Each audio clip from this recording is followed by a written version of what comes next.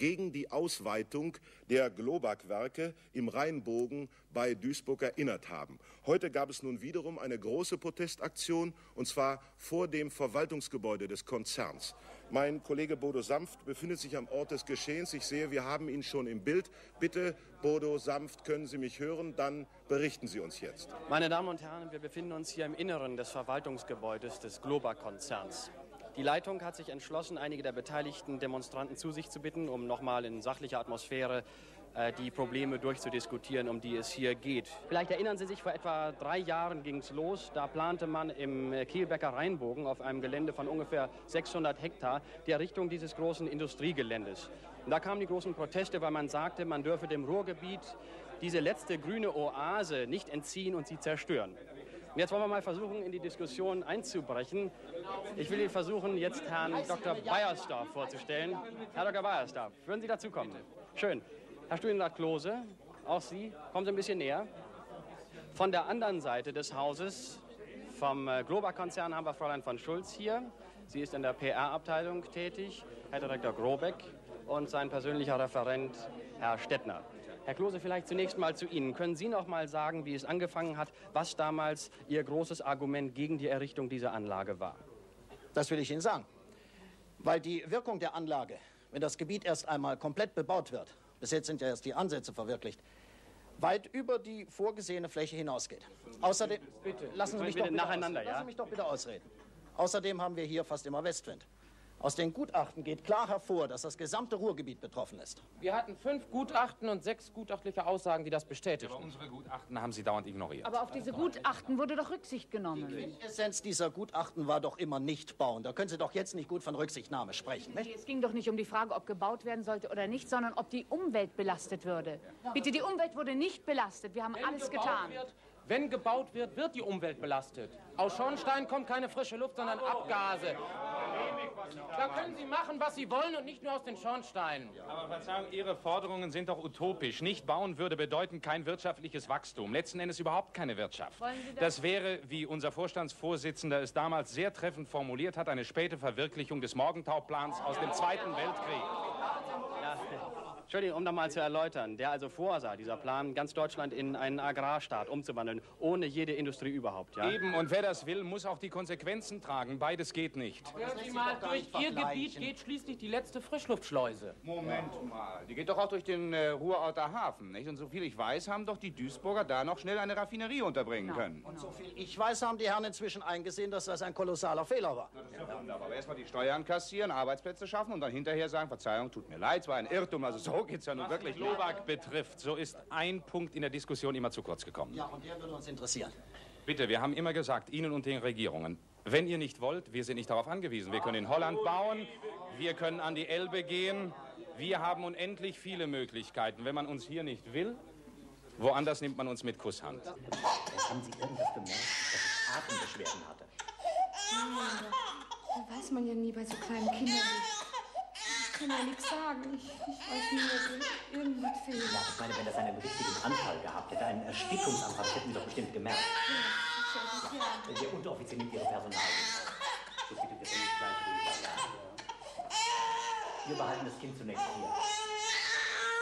So. Ja, ist ja. Herr Oberstabsarzt, Ja. können wir vielleicht jetzt Ein paar Minuten nur, wir haben Verständnis, ich muss gleich weiter, nicht? Ich, Wir verstehen völlig, Sie Ja. sind im Druck, das ist ganz klar. Die Kollegen sind auch sofort soweit bereit. Ton ab! Halt! Alles klar. Herr Oberstabsarzt, es geht uns natürlich jetzt um die Frage, Sie haben das Kind soeben untersucht. Haben Sie bereits eine Diagnose? ja, ich habe eine Diagnose. Aber ich nehme an, dass Sie dazu noch sagen müssen, hier ist der Smog schuld. Naja, so klar kann man das nicht sagen. Vielleicht ist der Smog schuld. Also hier handelt es sich um ein sogenanntes Krupp-Syndrom. Ich glaube, das versteht so niemand. Bitte erklären Sie es. Ein Krupp-Syndrom ist eine, eine Erkrankung der oberen Atemwege und Kinder zwischen sechs Monaten und fünf Jahren sind da besonders anfällig, speziell in den Herbst- und Wintermonaten. Was kann man über die Gefährlichkeit dieser Krankheit sagen? Naja, was kann man überhaupt über die Gefährlichkeit einer Krankheit sagen? Einer stirbt an einer Virusgrippe und, und ein anderer lebt weiter mit einem Karzinom.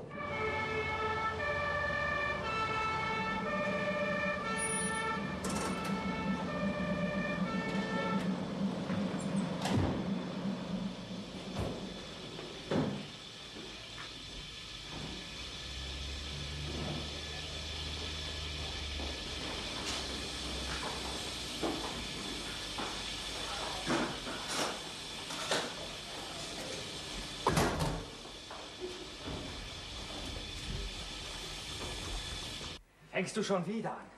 Seine Yacht ist untergegangen. Leider nur seine Yacht. Was soll das heißen? Leider. Was ich manchmal direkt wünsche, er wäre mit ihr untergegangen.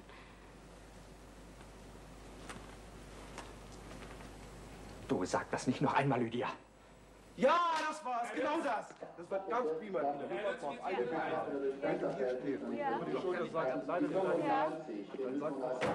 Pass mal auf, ich sehe mal von uns da oben auf der Brücke. Wir müssen hier in der Ecke noch. Ja, Kleinschmidt. Wir müssen unterbrechen. Was müssen wir? Unterbrechen. Bitte mal Ruhe! abbrechen! Können wir bitte mal Ruhe haben? Dann kann ich es erklären. Es ist Schluss für heute. Das Atelier wird umfunktioniert. Hier kommen Krankenbetten rein für Asthmakranke oder sowas ähnliches.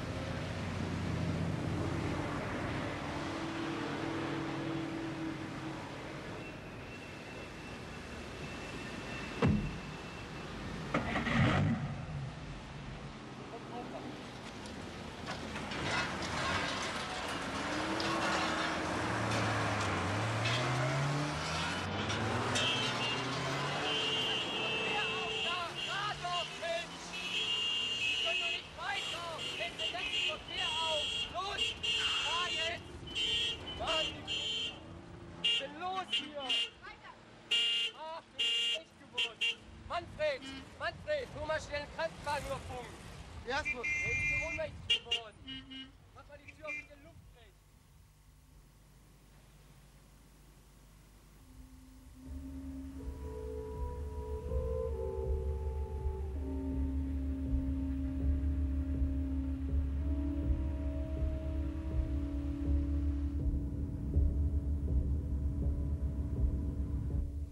Guten Morgen, Herr Timpel.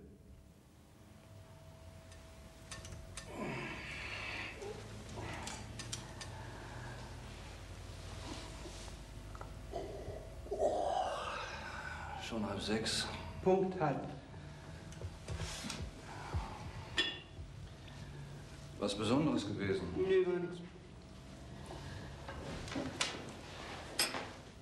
Haben Sie schon den Wetterbericht gehört? Möchten wir doch einmal darauf hinweisen, meine Damen und Herren, dass alle Besitzer von klimatisierten Räumen sich beim örtlichen Gesundheitsamt oder bei der Polizei melden möchten.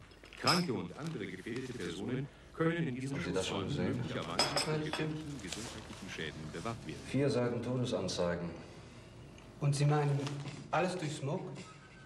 Alles nicht. Aber die meisten, würde ich denken. Sonst ist es ja nicht mal eine halbe Seite.